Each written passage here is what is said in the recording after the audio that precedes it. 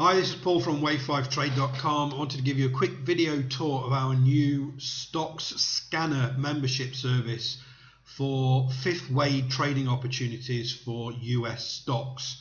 So from the main website, we can just click in pages, W5T Stock Scanner membership.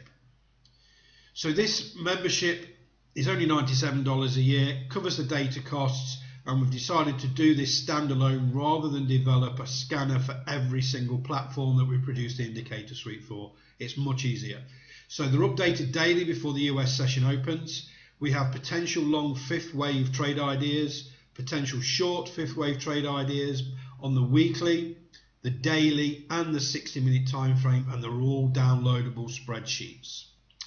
So very simple we click on the members area and we have potential long trades, potential short trades, and something else we have in there is trending stocks and indexes, which are um, live and it talks about um, trending uh, stocks within news and social media. Uh, we can click on there and it opens up and it tells us what's going off with Walmart, whether it's social dumping, facility shutdown, and lots of links to news and Twitter type articles there. So that's just an added bonus. So if we go to potential long trades, for example, this is very simple. Each day we'll add a new one, okay, and it'll be um, in date order, and it's a very simple, just click on the image to download the spreadsheet. Let's do that now.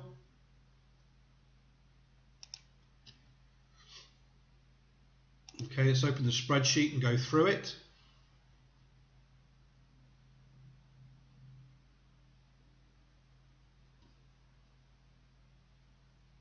Okay, so this is very, very simple. It's a workbook.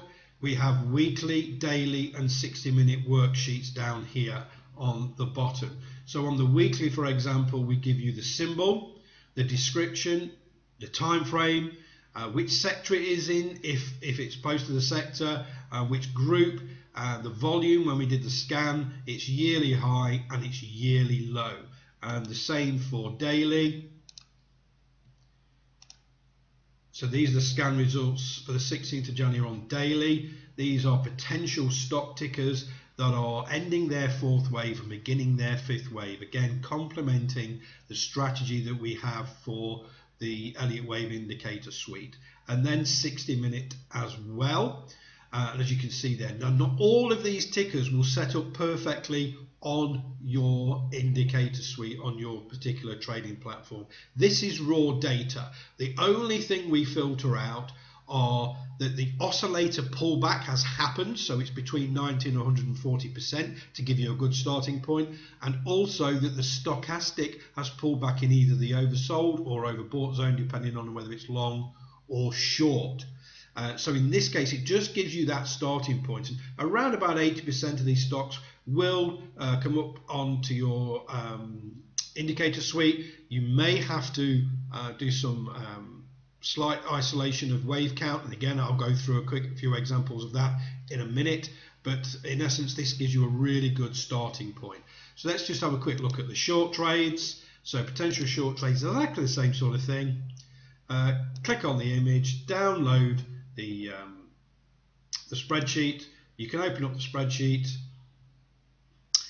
and there you go. So on the weeklies, you can see on this particular day, 16th of January 2018, there is a hell of a lot more potential short setting up on the weekly time frame than there was on the long uh, spreadsheet that we did. This is the scan results, uh, and this is the daily.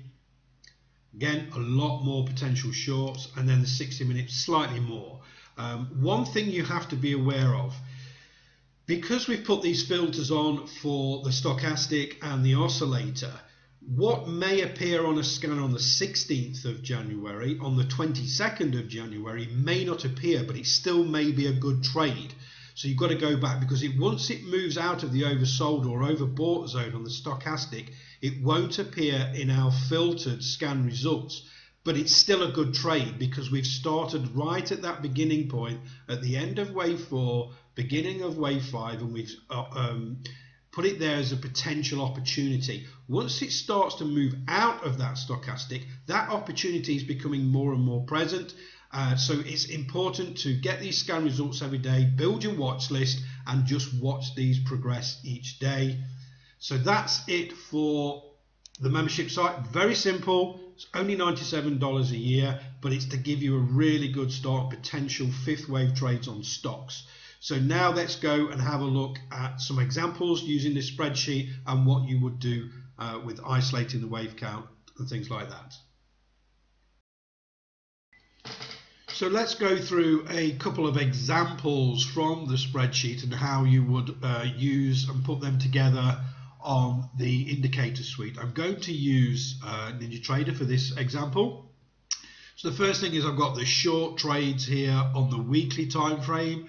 I'm going to look at FMSA here, Fairmount Santrol Holdings weekly.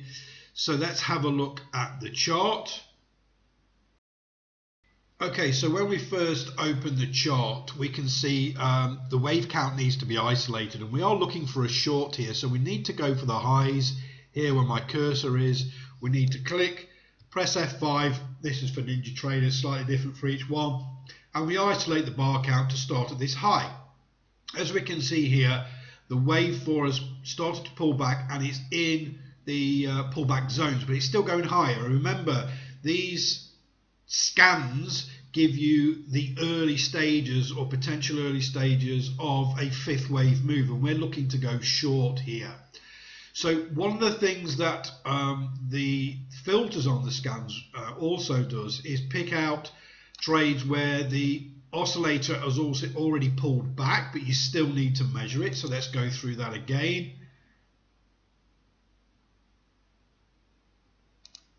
So remember we go from the highest point on the wave 3 to the zero line and then back to the highest point on the wave 3 and with NinjaTrader I've already got some um,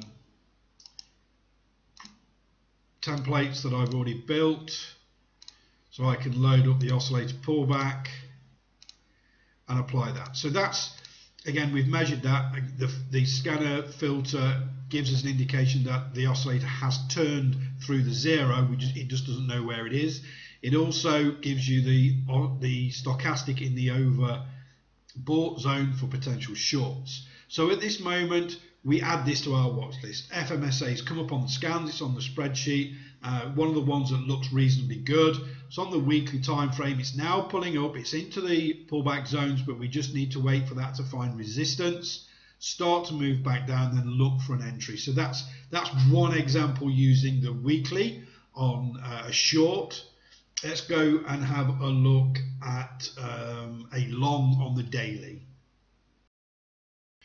So this is on the spreadsheet for, uh, if you look down the bottom here, daily and for the fifth, potential fifth wave move. So let's have a look at CAG.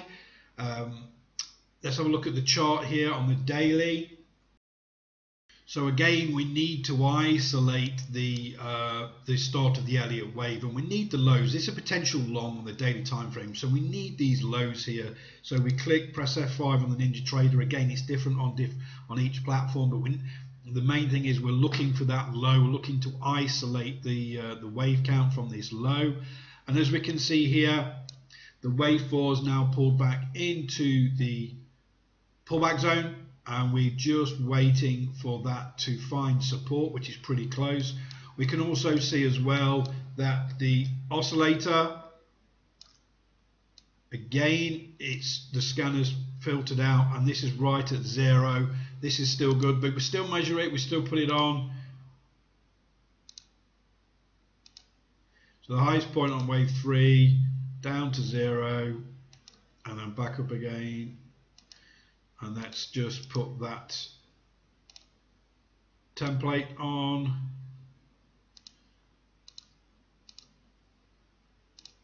Okay, so that's in our between 90 and 140 percent.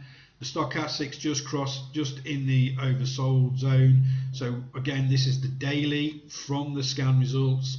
We're looking for that wave four now to find support before it starts to head back up again and then we'll get the, the target price printed as well.